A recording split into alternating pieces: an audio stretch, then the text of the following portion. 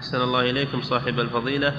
هذا السائل يقول هل يجوز هل تجوز إعابة إعداد الطعام من الزوجة من أجل تأديبها؟ لأنها لا تستجيب إلا بصعوبة. لا. لا تستجيب إلا بصعوبة. ما فهمت السؤال. السؤال لم أفهمه. نعم. أحسن الله إليكم صاحب الفضيلة. هذا سائل يقول هل قول أن الطبخ لا هل يجوز؟ أعيده. الزوجة الزوجة. نعم.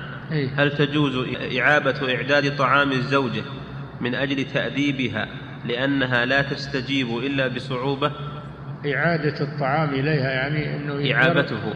من العيب سلم ها؟ إعا- عيبه؟ إعابته. إعابته؟ أي نعم. لا الطعام لا يعاب يا أخي. الطعام لا يعاب أبدا. تتركه. إن رغبت كل هو إلا اتركه لا تقول هذا طعام كذا هذا ما هو عيب للزوجة هذا عيب للطعام. بإمكانك تعلم الزوجة بدون أنك تعيب الطعام. نعم.